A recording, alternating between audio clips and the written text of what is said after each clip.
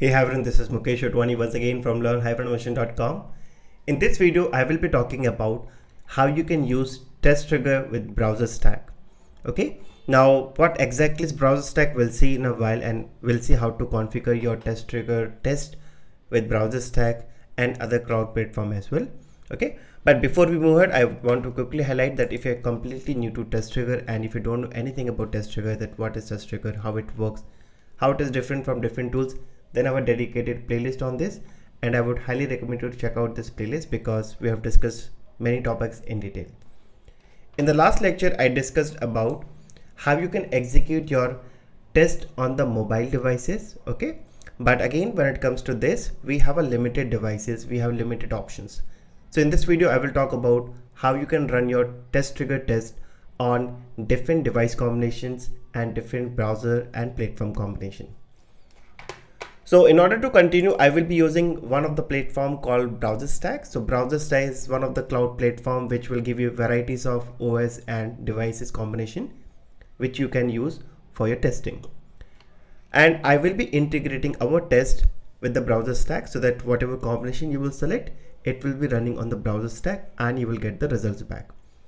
For example, uh, I will be creating one test suite and I will be creating one test that test I want to run on Windows, I want to run on Mac.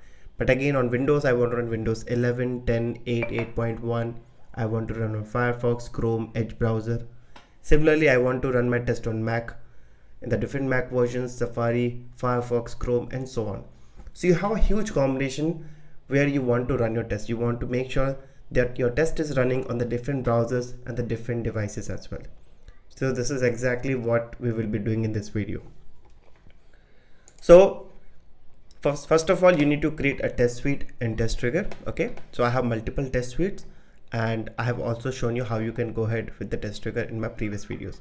I will give all the links in the description so you don't have to worry about it. After this video, check the description. You will get the application URL, the playlist, and for integration also what are the steps needed. So in order to continue, I can use existing test suites or I can create a new test suite and I can create new test cases and I will be running on BrowserStack. For example, I want to uh, create a new test suite. So I will just say BrowserStack test or maybe I will change test on BrowserStack. That will be adding more value. Now again you have to decide what kind of testing you want to perform. Do you want to perform desktop web testing, mobile web testing or native and hybrid mobile? In this video we are going to talk about desktop web testing. Then it will ask a URL to run test on. Okay, so for which application you want to run your test. I'm going to use this application but doesn't matter you can use any application that you want to automate because the integration part will remain same.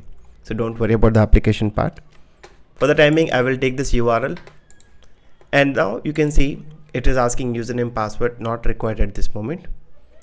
And you can see here we have multiple OS okay? So we have Ubuntu Windows OS X. In your case depends on what plan you have you will be getting the different OS right now I have all the three options enabled for me so I can continue with whatever OS I want to continue. But again it will take the latest version right? So let's say Ubuntu or let's talk about windows 11 10 8.1 8 7 or maybe xp if i want to do that right now that is not available. So if you have the subscription of BrowserStack you have varieties right? So what we will do uh, we will be using we will not use this as of now okay? What i will do i will select this ubuntu or browser whatever and i will make this as zero keep these options then I will show you how to integrate. So as of now whatever OS and the browser is selected keep that default. And if you click on the advanced settings you will find more options here. You can see this integration right? And in the integration part you can see here we have multiple options. You can do the recording jira azure devops test value TestRail. But again BrowserStack is not available. How we can do that so first of all I will not go with the advanced settings. Just create a test suite. Yeah it will take hardly few seconds and your test suite will be ready.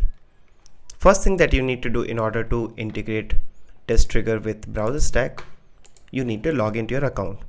So right now i'm on my free plan on the BrowserStack. So i have the limited minutes which i can use so in your case also in order to continue just create account on BrowserStack you will be getting a credentials. Log in with that credential that's all. And you will see this option called go to dashboard. Go to this dashboard and it will be navigating to dashboard v2 and again they have an integration guide okay? They will give you some quick uh, guide how you can navigate and all. Right now on the left hand side what you see uh, you are seeing ignore this for the time being later on once we execute our test I will show you how you can access them. So step number one log into your account go to the dashboard. You will find something called access key and the username. So this will be unique for different users. So in my account it is my username and my access key. In your case it will be different.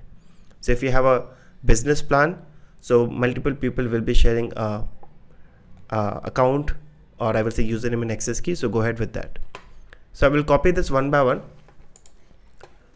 So once you get a username and access key third step will be you need to go to the settings part. In the settings you will get multiple settings but as of now main thing I need to see is the integration part okay? So right now if you come down further you will see something called enable BrowserStack. See this is just one of the service but if you have let's say LambdaTest sauce lab same thing is available. If you want to integrate with LambdaTest or sauce lab same thing. In this example i'm going to use BrowserStack. So guys let me know if you need a dedicated video on LambdaTest and sauce lab. I can make video for that as well. So i will just copy this username and i will paste here. And same thing i will do for the access key. That's all. Once you're done please come down and save this. Okay? Once your application is updated then you have to go to multiple browser. By default when you don't uh, define any uh, cloud service like BrowserStack lambda test or sauce lab you will see by default provider is testRigor. It means you will be running test on testRigor cloud where they have provided all this environment for you. But in our case we already have created an account we have a different a different platform where we want to run our test. So this option will be enabled the moment you enter username and access key. If you notice the moment I okay first of all let me show you this part. When I use testRigor provider I get only OS options and the browser option. So whatever latest OS and the latest browser. But if I want a different versions different browsers then we will be selecting BrowserStack. Now if you click on this okay it's not giving you this option. Okay so let me do one thing. Let me first delete this save this. Okay it says at least one option we need. One second. It happens sometimes. Let me just quickly refresh come back again uh, use BrowserStack. Yeah now we have this option. Okay so what I did actually sometimes when you save and if it's not reflecting just refresh the browser and we're good to go. So right now the default provider is testRigor and it is Ubuntu. Now I will be selecting BrowserStack and let's say I want to run on Windows again Windows you can see from XP 7 8 8.1 10 11 all options are available. Right now I'm using MacBook M1 so let's say I want to run on Windows 11 now. So I will say Windows 11 again on Windows 11 which browser you want to use? We have three browsers right now Chrome Firefox Edge. Let me run on the Chrome. Again you can see a huge version list which version you want to use. So at the time of recording we have the latest one 106 so I can go with the latest one or 105 let me select 105 click on add browser. And I don't want to use as of now testRigor provider. I only want to use BrowserStack. So I have deleted the default one. Similarly let's say this time I want to run okay Windows 11 but this time Edge. Edge also let's say 105 one more. This time I will say Firefox again for Firefox they have huge list. Again I will go with uh, so it is Chrome Edge and Firefox. Let's take one more option where instead of 11 let me go with 8 8 you can see now they have different options i browser firefox edge. Let me go with opera and opera 12.16 it means now my each and every test will be running parallelly on four different platforms. So windows 11 chrome windows 11 edge windows 11 firefox windows 8 opera but there's no limit. You can add any browser combination and it will work. Yeah so let me click on save. Application updated. All fine. So from test suite setting side it's all done. First step you will be going to integration select BrowserStack provide the username access key. This is what we have done. Save this. After that come to multiple browser. Select BrowserStack from the drop down. Give all this combination. Now you can start writing your test. By default each and every test will be running parallelly on four combination. You don't have to mention anything. Since you're given four combination parallelly all will run. That is a very interesting part here so what we can do uh, click on the test case and this is the freshly test suite we created. So obviously we don't have any test case. So let's create a custom test case and let me write here log into application. And if you are completely new what to write what not to write you can follow the documentation this is the application where I want to log in and I want to verify whether we, I'm able to log in successfully or not. Okay, so let's continue now. And here you can write the custom steps with new line separated. And if you are completely new, please read the documentation. In my previous videos, I have already shown how to type, how to click, how to select values from dropdown. So please go ahead and check out that playlist. In the documentation, if you want to, you know, enter something click something you can just refer this documentation. Our main motto of this video is to show you the integration with BrowserStack so I can write any test and it should run. So let me write enter. This is the application right? So here let's say I want to enter admin into this username. So I will say enter in double quotes I will type admin into in double quotes just the label name that's all. If you go with traditional automation tools you need to write the code you need to write the code to start browser to type to find element and all right? Here no just a plain english in order to continue. So i will say enter admin into username. Then i will say enter admin123 this is the password. This is same for you as well. And double quotes i will again say that i want to type in the password. That's all. It will enter it will do the password. Now I want to click. So for click you now you don't need any locator. I can see the text here called login right?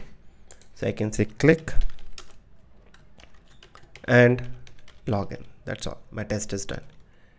Now if you want to verify for example I will log into this application and I need to verify maybe okay this add button admin pim leave. So I can just quickly see whether this add button is available or not. Or let's say I will verify this icon or image or I will verify this text. It's up to you what kind of validation you want to keep so let's say I want to verify whether this add button is present or not. So in order to verify this I will come back here and I will say verify uh, not verify. Here we have something called check. Yeah can you see this? Check that page contains. So I can use this directly. See that's the advantage of this. They have given everything in the documentation. You don't need to go to any different blogs or any documentation. I will check that page contains add